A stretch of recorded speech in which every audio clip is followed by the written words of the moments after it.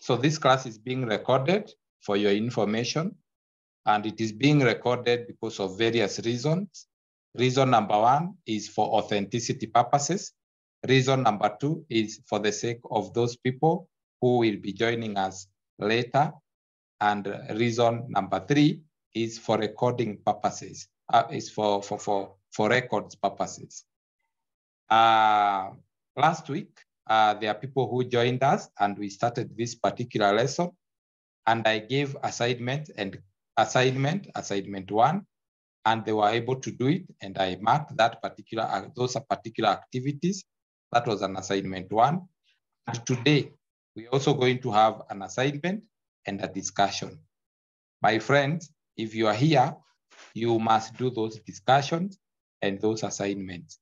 Otherwise, if you don't do it, register now has been synchronized to those with those assignments and uh, those assignments and what? Those assignments and discussions. If you don't do it, the register marks you absent automatically. And we know very well that one of the conditions for you to sit for an exam, you must have attained at least 75% the class attendance. So if you do not do those activities, all of them, then the system marks you automatically absent. So you have to do all those activities. You have no choice than to do those activities.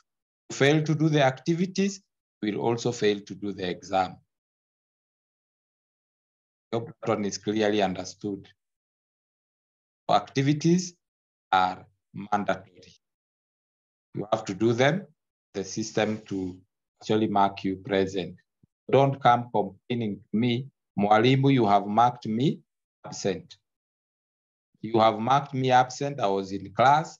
I can tell you everything that you taught, but, uh, uh, and you marked me absent. No, it is not me. It is the system.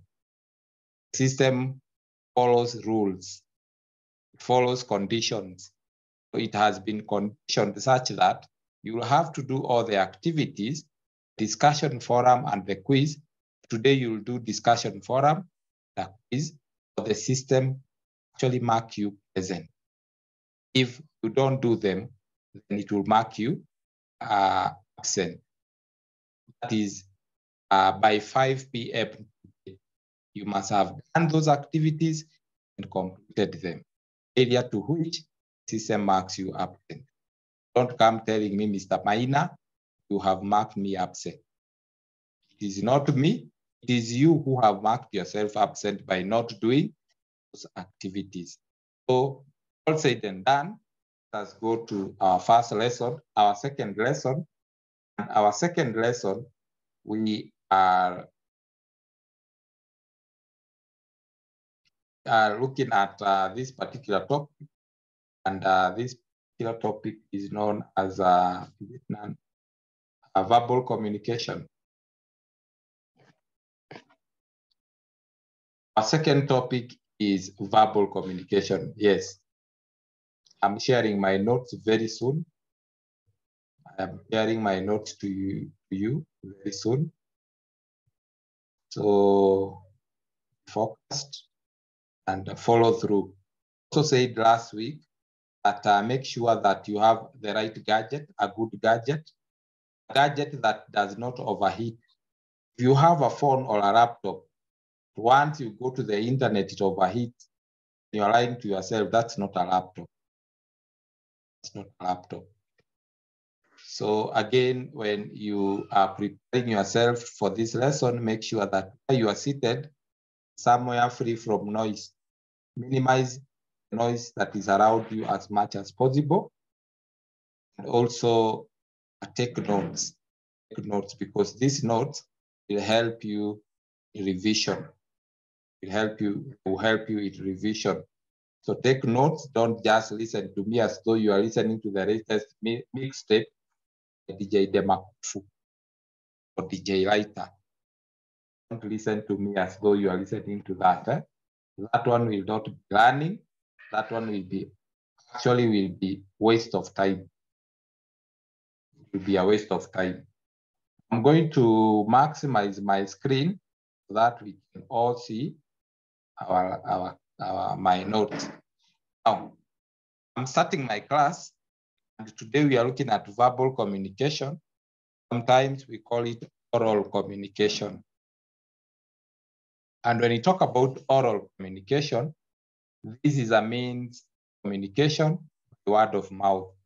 When you communicate through word of mouth, like I am doing, um, like what I'm doing right now, I am doing oral communication. And this is the primary form of human communication. So it is the use of spoken language that give or give human a great advantage over animals. Animals do not speak. Animals do not speak. They produce sound to depict something. Like if you hit a dog, it will produce a certain sound. It does not speak. Now it will use, uh, it will produce a certain sound to communicate something, but it will not speak. You must be very careful to differentiate between speaking and communicating. Speaking is when you use your mouth to say some words or to, to say some words or to convey some communicate or to convey some message. Communication is the process of sending a certain message from the sender to the receiver. When you hear your, bar, your dog barking at night, it tries to communicate something that maybe there is a strange thing in the compound, or there is a strange person in the compound, or something of the sort. It tries to communicate through producing a certain sound. So the difference between human beings and animals is that human beings can speak, animals cannot speak. That is the greatest, uh, greatest advantage between human beings and animals. Then we look at advantages of oral communication. One, it is a learnable and improvable human activity. One advantage of human uh, oral communication, it is a learnable and improvable human activity. Every day we learn. Every day we improve. Like the way you are when you are when you are small. You kept on improving your oral communication. Until now, you can now speak fluently. You can now speak. We can understand what you are saying. When you are young, could not, we could not understand what you are saying. We could not understand because even the words were not coming out, out clearly. If you not, uh, yeah, the words were not coming out clearly, but right now words are coming out clearly. We can hear what you are saying, and we can, uh, we, we, we can do what we can answer you if at all you are asking a question. So it is a learnable and improvable human activity. It's something that we learn and we improve. Secondly, it's a more accurate reflection of thoughts and attitude of the speaker. So the moment I speak, then you can reflect on what I'm thinking. Like if I have, I'm having a conversation, maybe between, uh, let me pick one of you, Kate, Kate Thuku, that's a CBM student, and Kate Thuku is talking to me, I can know what she's thinking. I will know what she's thinking through her verbal communication. So it's a more accurate reflection of your thinking. So the moment you speak, we can tell what you are thinking. Number three, it creates a, and sustains warm interpersonal relationship. Something interpersonal, something between two or more. Like last week, we looked at interpersonal communication. Remember we looked at types of communication, those who joined our class or those who came to class. We looked at types of communication or uh, types of communication. One of it was interpersonal communication. We said interpersonal communication is communication between one or more people. When I'm communicating to two of my friends, my friend, then it is called what we call interpersonal communication. So it creates and sustains warm interpersonal relationships. It's through verbal communication we are able to uh, uh, express ourselves very well. Like for example, if you are called, come and explain why you did not do a cut, will be able to express yourself very well and clearly than if you are to write a letter, than if you are to send us a video, or than if you are to send us an oral communication, because there will be question and answers.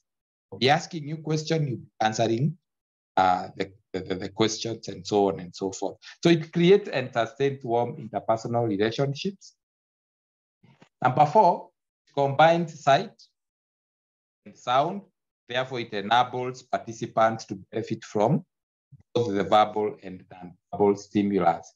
Stimulus is anything that you can see or touch, something that can motivate you depending on your need. Example, if you are hungry, the stimulus is food. If you are um, if you are sick, the stimulus is medicine. If you are thirsty, the stimulus is cold drink or water. So it combines sight and sound, and therefore it enables participants to benefit from verbal and non-verbal communication. I can see, as we speak, I can look at your face. I can be able to tell whether you are happy or you are sad. For example, right now you cannot see my face, so you can't tell whether I am happy or sad. Through the voice, through the tone of voice, you, tonal voice, you can be able to tell this lecturer is, is, is good or this lecturer is bad. This lecturer has no, has no grudge with anybody. It combines sight and sound, and therefore, through the sight and sound, you can be able to interpret the message that you're being given by someone. Number five, it allows for instantaneous exchange of ideas, information, opinion, feelings, and attitude. You can communicate with someone instantly. You ask a question, that person can answer you, you directly. If, if you need information, can give you information directly. You can respond directly. So it is very instant. instant. You don't have to wait two weeks, for three weeks, for one day. Somebody is saying that my video cannot be seen on his screen. Now, how do we help this one? I've already shared my screen. I think I can ask some of you that you can see my screen that you know we know where the problem is.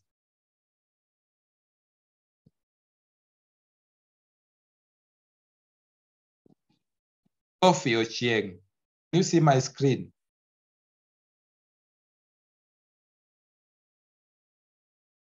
Sophie?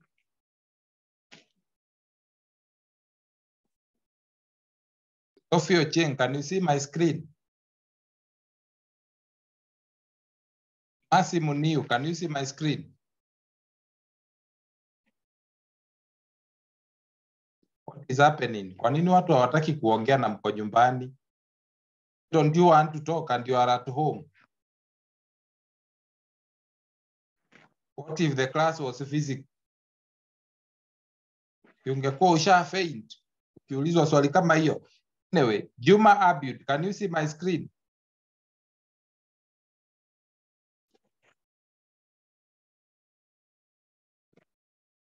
Now, what kind of a behavior is this? Can anybody tell me whether you can see my screen? Somebody is complaining here, he can't see my screen.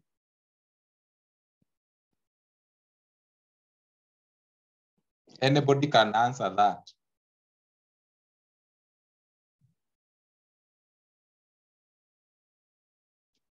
Juma Abid, can you unmute yourself? I can see you are raising your hand. Can you unmute yourself?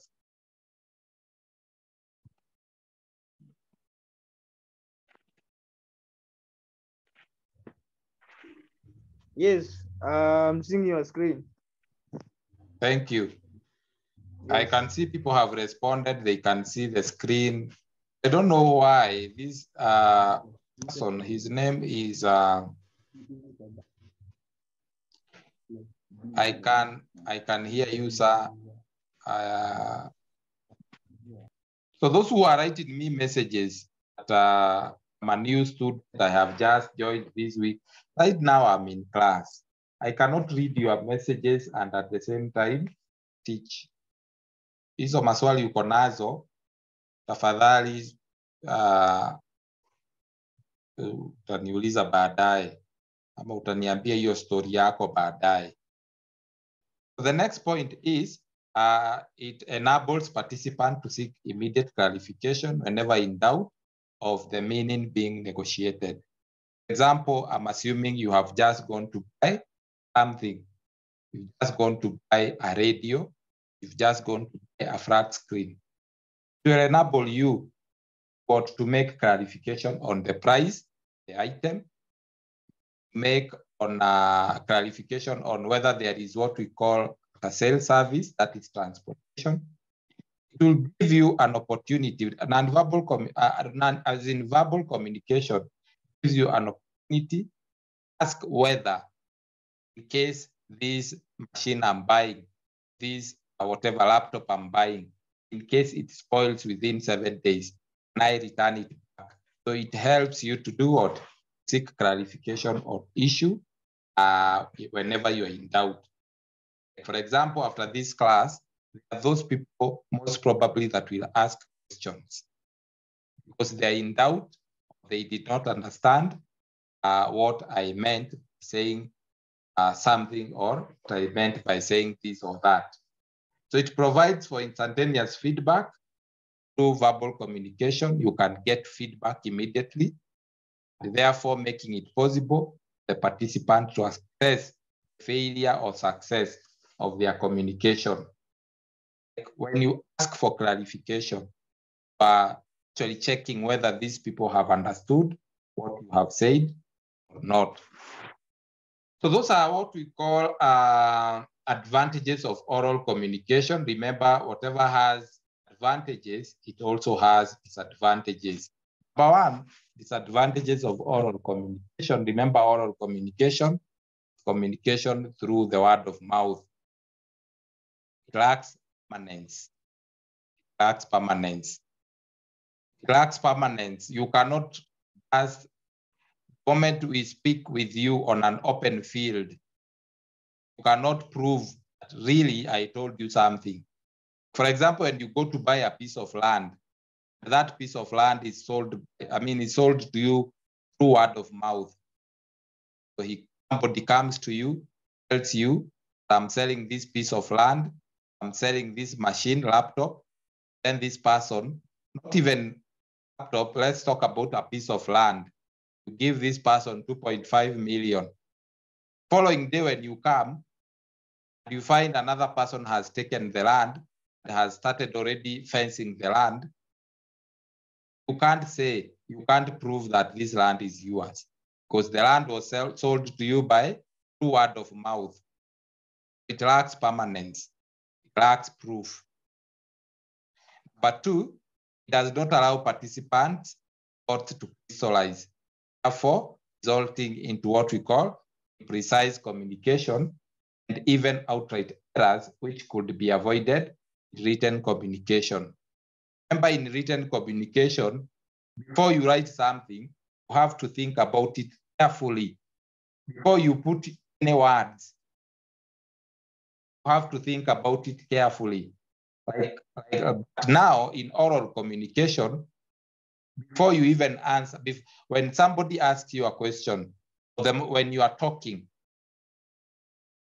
you, you, you may find yourself responding to the question very fast without even thinking of what you are saying. So in other words, does not allow participants not to crystallize. I, I, I remember I had a friend of mine whom when you talk to him, he will respond or he will talk much. Or he might, he might even say, or might even say some things he did not want to say. Then he'll be, uh, he'll be, he will be left saying, this poor, I mean, this big mouth of mine, In other words, uh, non, uh, oral communication does not allow participants to crystallize, therefore it results to size communication and even outright errors which could be avoided in written communication. Number three, there is a possibility of distortion of meaning. When we talk with someone verbally, chances are this person may also distort the meaning. You've heard our politician, for example, some few years back, somebody said Mexico, that they're importing maize from Mexico. And sometimes back, they say, no, I did not say Mexico. I said maize eco. And you wonder, is this person taking us for fools? So there is a possibility of distortion of meaning. People may distort the meaning that uh, is passed across to them.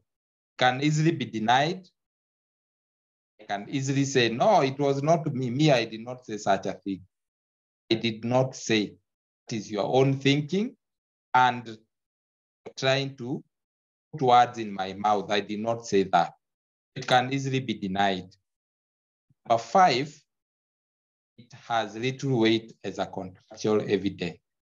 Just like we said, when you have, you are buying a piece of land or you are buying um, something in the shop, then it has to be, there, there must be a document, a written document, show that you have it and you are now the legal owner that property. Even when you're buying a television set from a shop, they give you a receipt, to show that you are have the item.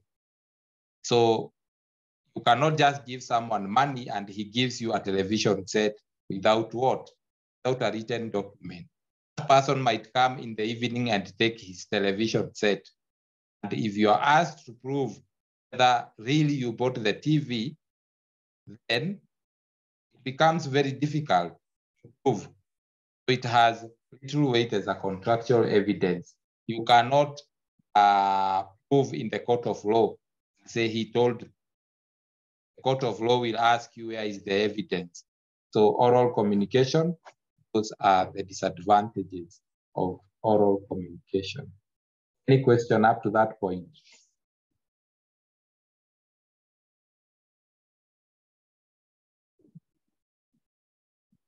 Any question?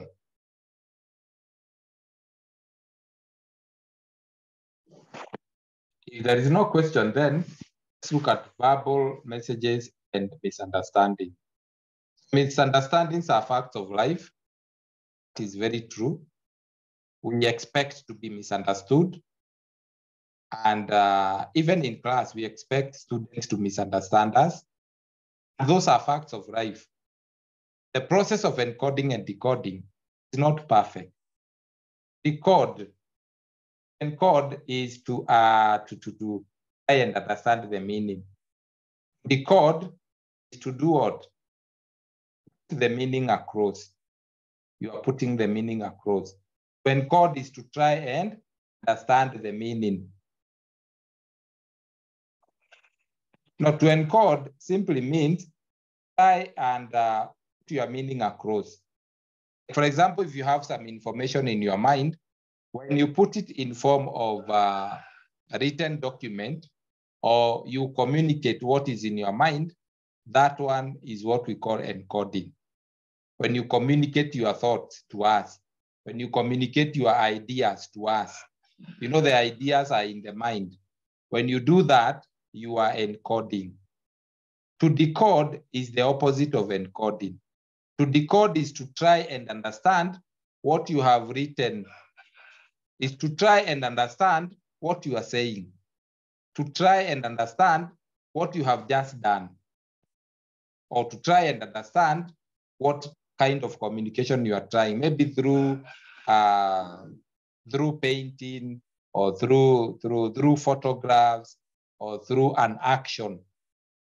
When we try to understand what you have done is what we call decoding. So misunderstanding are fact of life and the process of encoding and decoding is not perfect. The way we understand things, the way we translate things is not perfect. And because most of the basic language problems involve misunderstanding, now we are beginning to look at how to prevent this type of miscommunication because miscommunication most of the time comes from verbal communication or oral communication or communication through the word of mouth. So number one, you are being told to avoid this, use what we call unequivocal terms to avoid misunderstanding. So unequivocal equivocal terms are those with two different meanings that are both acceptable and they are common. So you can use a term that has got two different meanings and people will end up misunderstanding you. So most equivocal misunderstanding arises in causal conversation, causal conversation, where statement seems perfectly clear until you discover that others can interpret them differently.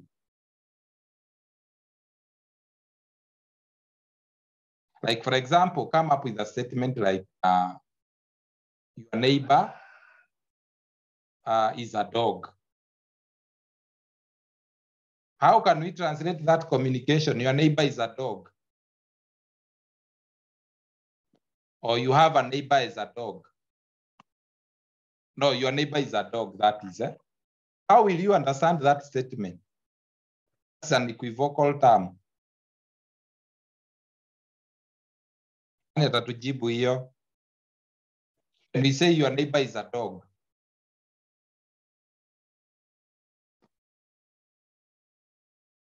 we have some people in this class. When we say your neighbor is a dog, what do we mean? Uma, your, your hand is still up.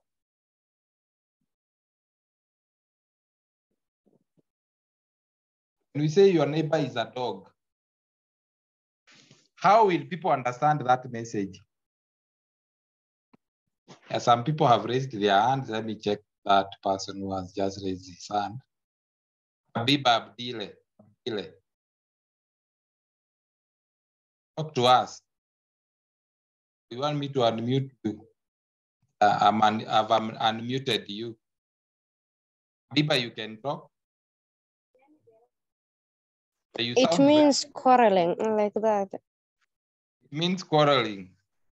Arguing. Arguing, something of that sort. That just don't go into details, finding uh, the deep meaning of your neighbor is a dog. Just take it lightly. Just take it the way it is. Don't go into details.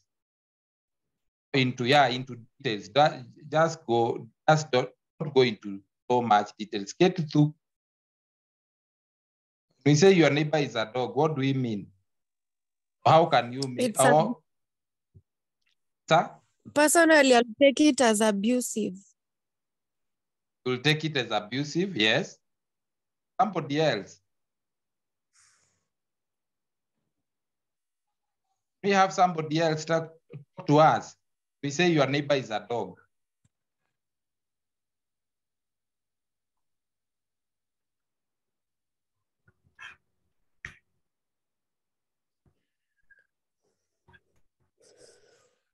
We have somebody else talk to us. Anyway, hakuna mtu anataka kuongea. means comparing your neighbor to a dog. It means comparing your neighbor to a dog. Apart from comparing your neighbor to a dog, your neighbor might simply be a dog. That it, that it comes there or it is close to you. Your neighbor can simply be the animal or the dog, which is true. People may understand it like that. You have an animal as your dog. Others will understand that your neighbor is uh, it, okay. The, the, the, it might mean it is abusive. It mean that that person is quarreling you. So Stop using such words. It can be mis- misunderstood differently. Maybe simply you mean your neighbor is the animal, an animal, dog, eh? a dog. So stop using uh, equiv- unequivocal terms because uh, people are going to translate them differently and uh, people will take them differently. Like for example, uh, if I was to invite somebody for a cup of tea, assume I'm inviting uh, Elvis for a cup of tea, and I tell Elvis, on Wednesday we are going to have a cup of. Wednesday at five. That's an equivocal term because we don't understand which Wednesday. Is it the last Wednesday of the year, December? Or is it this coming Wednesday? Is it last Wednesday of the month of January? So stop using such word because people will translate them different. Number two, you are told use lower level abstraction and clarity is necessary. Any object or idea can be described at various levels, some very general and some very general and others specific. In other words, stop using ambiguous language. It causes problem. Causes problem. Uh, for example, when you tell your supervisor you will do memo soon, it can cause problem. You tell your supervisor, I will do the memo soon. What is soon? Sometimes you find people saying, oh, when someone tells you, I'll call you very soon. And somebody might add, how soon is very soon? You, you will find somebody saying very soon. It's supposed to be specific. For example, if you tell your boss, the job will take a little longer. You need to clarify how much longer, how many hours, how many days, how many weeks. Don't tell your boss, I'll be done very soon. And maybe very soon is in a month time, is in a year's time. So stop using what we call lower level abstraction.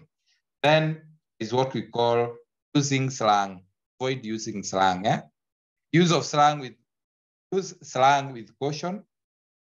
It is causal slang. Hidden speech may be fine when conversing with friends, conversing with family, other informal communication situation. It can create a very wrong impression with bosses. It can create a very wrong impression with teachers. Some slang may simply not be understandable to some people. So tunasema hivi, vijana, I know you are nyinyi ni vijana, you are very young. When you, are, you get into the offices, when you're talking to your lecturers, when you get into the bank, stop using slang. Slang may make someone carry you in a different angle. For example, when we speak of slang, people think of ghetto. When you think of ghetto, think of a place where there is no laws and order. By utapata ya kwamba kuna wizi, smuggling of weapon, smuggling of drugs. People are living a life that is not um, that is not secure or something of the sort.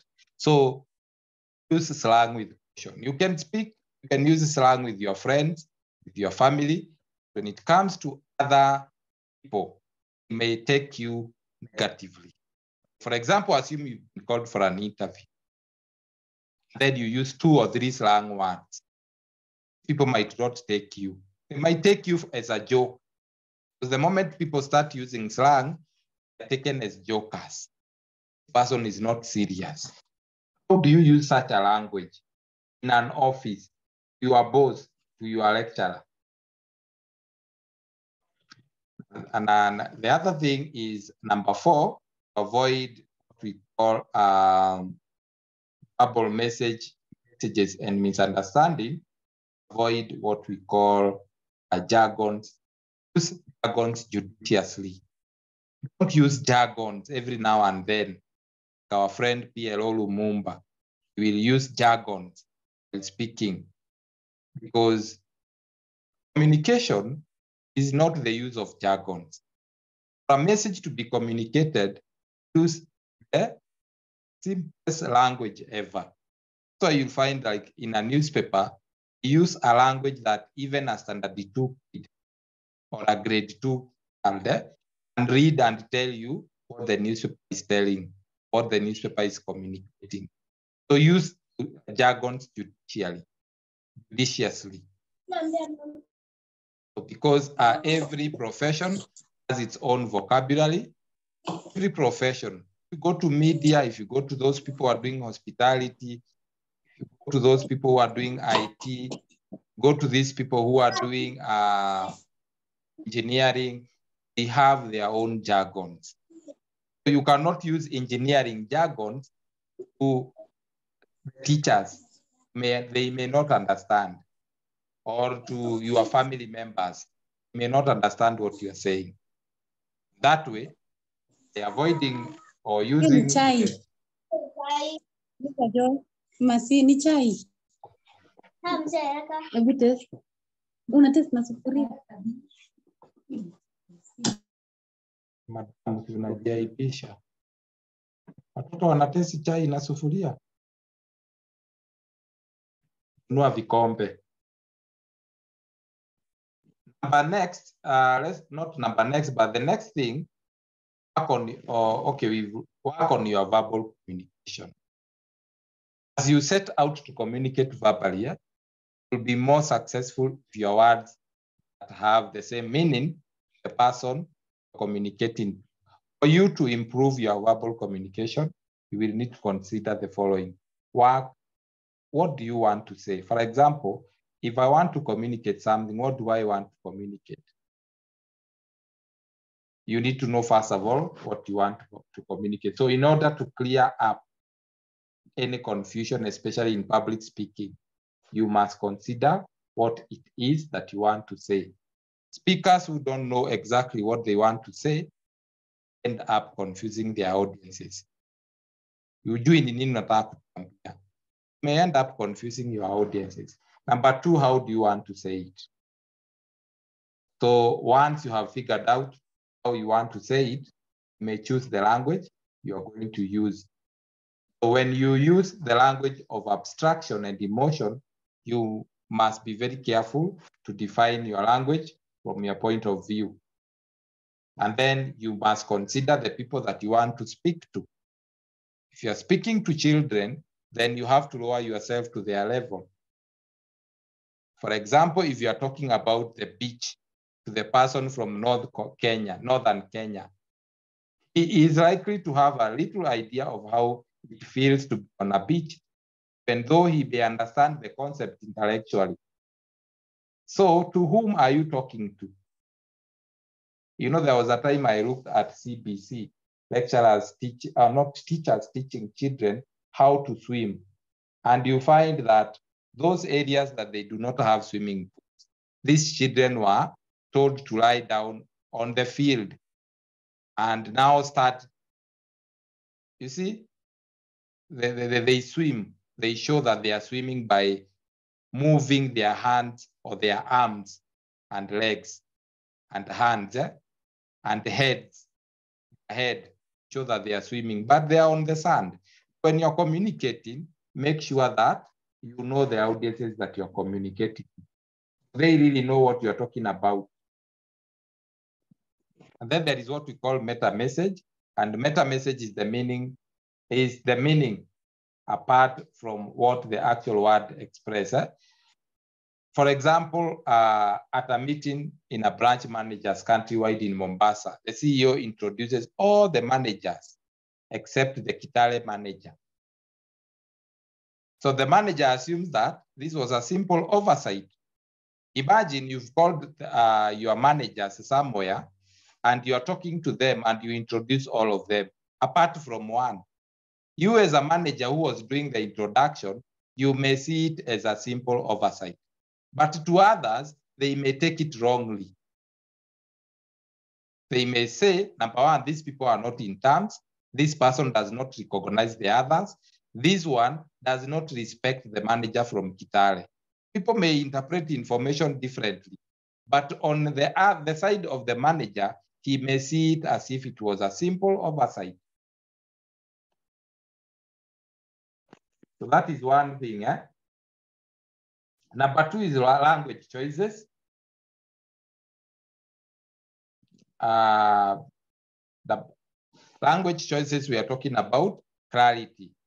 Be very clear of what you are saying. Avoid jargons, avoid slang, other complicated words that may not be understood, a specific rather than the general population. Power talk, use power talk. Stop using words such as I guess. You know, nobody knows. I believe it is better that you say, I believe some of you know what I mean. Those who don't know what I mean, ABCD. Don't use such words like, I guess, kind of, or you know, pillars. eh? Nobody knows what you're talking about. Again, be very vivid. To be vivid is to be very clear by creating an experience for the receivers of your messages. You can often make them feel what you felt. For example, maybe you are telling people on the first day you rode a horse. Make it clear such that they can feel what you felt. Or the first day you did what? You failed a test. That these people know and feel exactly what you felt. Let it be so clear. These people can be able to, to do what? Understand what you are saying or what you are actually what you are saying. There is also what we call moral choices. We can cause considerable damage to others by choosing the wrong words. For example, I'm inviting you for a cup of tea. Instead of you telling me, I'll be very busy, I'm sorry, I will not be able to come. Others will say, I'm not interested. In some countries, they use, no, I'm not interested. I'm not interested in some countries, it's normal. Come to Kenya, I'm inviting you for a cup of tea, and you tell me you're not interested. It will sound rude. It will sound rude. So insulting words can reduce an individual a mere trait. For example, when you call someone fat, especially ladies, lady, you are very fat. Lady may develop a very negative attitude towards you for the rest of her lifetime. So avoid such words. Avoid such words like saying, use your four eyes, or he has four eyes to mean that he's putting on spectacles. Or even pig or dog, like we have just given an example of a dog. You have a dog as a neighbor, or you have a neighbor. You, uh, I mean, something like that. eh? Avoid using such words like dog, pig, because these animals, they are perceived negatively. A pig is perceived as a very dirty animal. A dog also is perceived to be a very dirty animal. That's why you find ladies saying men are dogs. That's very bad. So we need to remember to make moral choices in our use of languages. And many of the choices we make not only determine how our um, how we present ourselves to others, but also decides the nature of our relationship in the years to come. So avoid those words that shows the other person is useless or that looks like you are abusing them. Like when you say this one is very short or this one is a dwarf. You, you meet a, a- a short person, you call him a dwarf or simply you call him a pygmy. My friend, you are abusing that person. So be very careful when you are making choices, when you're talking, because uh, it may determine how your relationship will be with that person. The relationship might be good or it might be worse or might be bad. So then how do you improve your verbal style, your verbal style of communicating? Number one, increase your vocabulary. We said, as we when we began, that oral communication it gives you a room to improve. The way you speak today, you might not be speaking in the uh, in the next three years because you are improving your oral communication as you grow. So improving your verbal styles, number one, you increase your vo vocabulary. So when you hear a new word, try to understand it in its context. Context is the environment. We said last week that when you use some words in a different environment, they may mean totally different things. Like for example, ukisema ya kwamba this is huyu ni shoga yangu na tuko kwa darasa, it may mean simply this is your friend. But take a photograph of your friend who is a boy or your friend who is a girl. Two girls taking a photograph or two boys taking a photograph on bed. They are on bed. And then hapo uandike chini, huyu ni, kona, huyu ni shoga yangu. It may mean you are gays, or it may mean you are homosexual, or it may mean you are lesbians. But if you are to say that in a class context or class, class environment, it may simply mean it is your friend. So the way you use words, use them right in their context. Because the environment can influence your, your meaning. Number two, adapt, you are adapting your oral language. So as you talk to people, become conscious of them as particular individual for whom you need to adapt your message. If you're speaking to children, use the language of children so that they can understand what you are saying. If you're talking to the old, use a good language that they can understand. That one shows respect. And then breaking bad habits, that although someone may tell you that you are making language mistakes, such as poor grammar, will probably find it hard to protect yourself. Why? Because you are so accustomed to talking this way. If you are also in an environment where mistakes are constantly being made, example, not uh, you are in an environment, those people are in ghetto, those who live in ghetto, not all of them, some find that um, breaking the bad habit of speaking in Sheng becomes very difficult because Sheng is the language of the Nageto. It becomes very difficult. So you're being told breaking break those bad habits. The way you speak, the way you articulate words, your eloquency, the way you read, the way you pronounce words, the way you address people. Like in ghetto, you'll find Niaje Buddha, those kind of words. Those words, if you don't break that bad habit, you might end up, maybe you, you, you, you, you are, are called to give a speech, the elderly. You are called to give a speech to the youth. You may end up using the Sheng, and the Sheng might, you know, sometimes when you use such words in Sheng, it shows how much disrespect.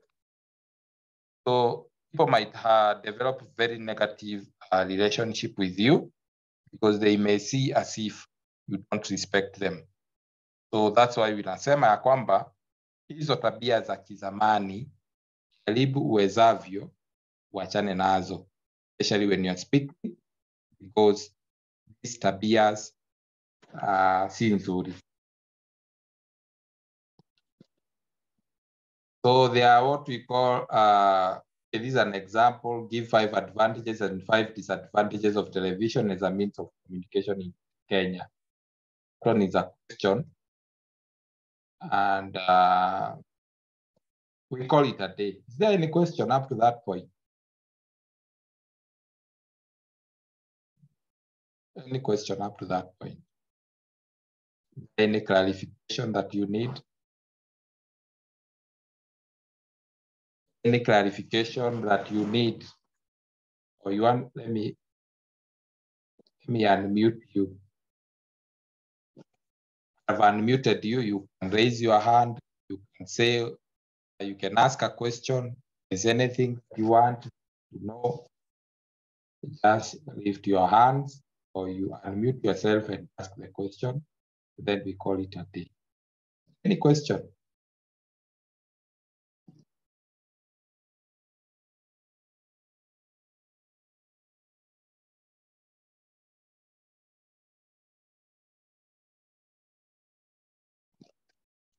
If there is no, uh, somebody is lifting his hand up. This is uh, Habiba Abdile. You have a question? Or your hand has remained lifted up for since we started the class. Habiba, uko swali?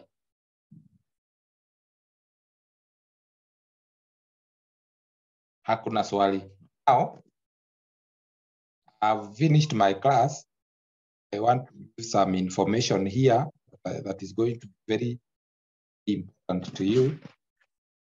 Uh, one of the information is that uh, those people who have just joined us today, uh, you can follow us through because there is a link that uh, a recorded uh, video of uh, the previous class, and that one is in on the portal. What you do is that you go and listen to that recording. Once you click, it takes you to YouTube. You listen to it, and uh, after you listen to it, then uh, you'll get par with us. Another thing is that uh, last week, those who are not there, we created a group. In this group, I chose one of us to be the class rep of the group. The purpose of this uh, admin is to ensure that uh, those who are not able to join, he can, she can, she can do what? She can help her, she can help him or her join the particular group. And also other, other things. Eh?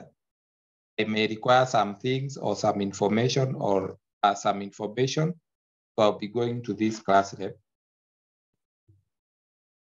so that I can get those information. Now I'm sharing a link. I'm sharing a link this group.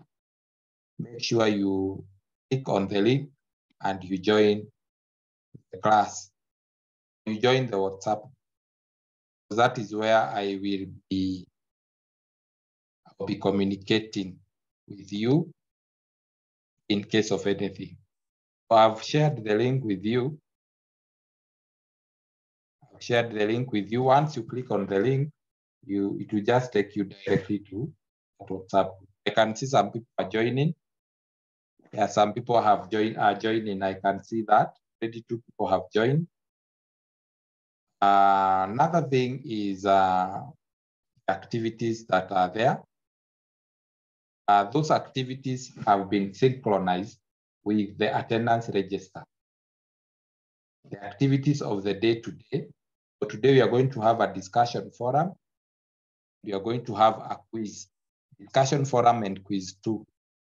Discussion forum and quiz two have been synchronized with the attendance register. That you have to do the discussion forum first. So you have to start with the discussion forum first. So do not start with the quiz. If you start with the quiz, it will not open. You have to start with the discussion forum first for it to give you the permission to do the quiz. So if you start with the quiz, it will not open. You start with the discussion forum first. Once you finish with the discussion forum, then the system gives you permission to do the quiz. Then you do the quiz. After you do the quiz, your attendance will be marked automatically. It's as simple as that. If you fail to do them, you will remain absent and the attendance closes exactly at five. So by the time you are done with the activities, those activities you must done you must do them between now and 5 p.m. Because hii darasa inafaa iishe saa kumi na moja.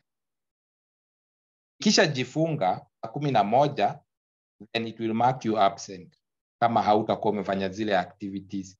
So make sure that you do those activities for the system to mark you present and begin with the discussion forum because the quiz will not open until you finish the discussion forum. It's as simple as that. So therefore, I have unleashed today's notes. As we speak right now, you can download those notes, the one that I was taking you through. You can open those notes as we speak right now. The second thing is, I think uh, maybe I can read those discussion forum. The discussion forum reads like this, differentiate or discuss the differences in denotation and connotation. What is denotation? What is connotation? Discuss the differences. Quiz two, it states with examples, we state with examples where verbal communication is mostly applied. Where do you apply verbal communication mostly? As simple as that. Once you do those activities, the system the end at five itakuwa imekumark present. If you fail to do them, then you have yourself to blame because you'll not be allowed to sit for the exam because of, because of failure to do what? Because of failure to attain 75% of class attendance. Don't come crying to me, Mwalimu, you marked me absent and I was present. No, I have no control over that attendance register. Now it is in the control. The control is in your hands. Control is in the system. Just do right thing.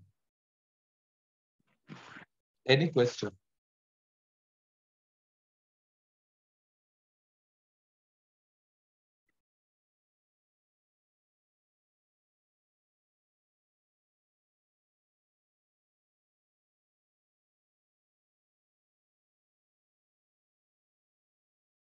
Any question? Then if there is no question, I'll end my class there. For the remaining time, just go and do the activities that have been aligned there for you. Have a very good evening.